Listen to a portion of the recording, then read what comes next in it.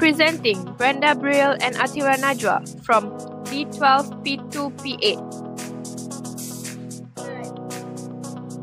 Hi guys! Welcome to our video. So today we are going to present about three ways of carbon dioxide transportation. Let's watch it. There are three ways of carrying carbon dioxide from tissues to the respiratory surfaces. The first one is 10% of carbon dioxide dissolved in blood plasma. Secondly, 30% as carbaminohemoglobin. And the third one is 60% transported in RBC as bicarbonate ion and moved to blood plasma. In 10% of carbon dioxide dissolved in blood plasma, I will explain to you about in respiring tissue and also in alveoli.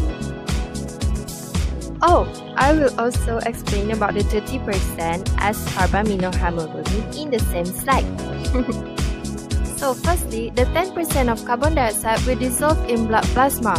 Not just that, the carbon dioxide can go into plasma and combine with water to form H2CO3 that is carbonic acid. The H2CO3 will dissociate into hydrogen ion and bicarbonate ion.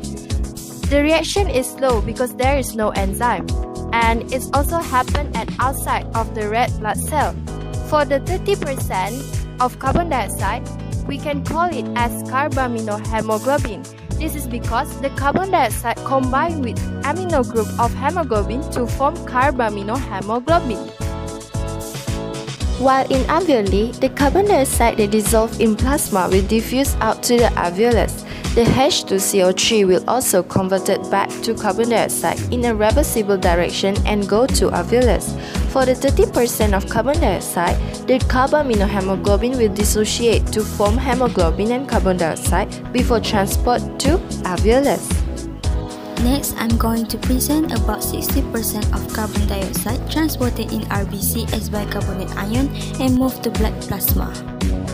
I will explain more detail about transportation of 60% carbon dioxide in respiring tissue and also in alveoli. In respiring tissue, CO2 from tissue diffuse into plasma and enter erythrocyte. CO2 will combine with H2O to form carbonic acid, which is H2CO3, that catalyzed bicarbonate anhydrase. Then, H2CO3 will dissociate into hydrogen ion and bicarbonate ion the bicarbonate ion diffuse out of erythrocyte. Next, it will transported in blood plasma to alveoli. As bicarbonate ion diffuse out from erythrocyte, the charge will be positive. After that, diffusion of chloride from the dissociation of sodium chloride into erythrocyte, so the chloride shift occur. The function of chloride shift is to maintain electrochemical neutrality in blood. In the meantime, the increase of hydrogen ion in erythrocyte make it more acidic. Hb from dissociation of oxyhemoglobin combined with hydrogen ion forming hemoglobinic acid HHB to prevent a decrease in pH. While in alveoli, HCO3 diffuses into erythrocyte the hydrogen ion from HHB combines with HCO3 to form carbonic acid, which is H2CO3.